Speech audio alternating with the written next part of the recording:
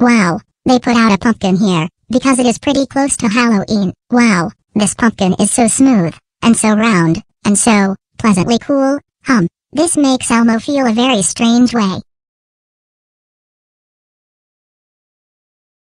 Ow ow ow ow ow. Elmo's wee wee hurts from ramming the pumpkin into it really hard, but Elmo kind of likes the feeling. Elmo is going to do it again. Yeah. Elmo loves the pain this causes on Elmo's wee wee.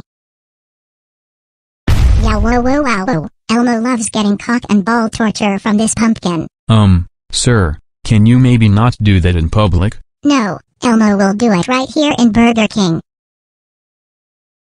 Oh yeah, this makes Elmo's wee wee hurt in such a good way. Daddy, why does that boy keep slamming a pumpkin into his penis over and over? Cock and ball torture, from Wikipedia, the free encyclopedia at en.wikipedia.org.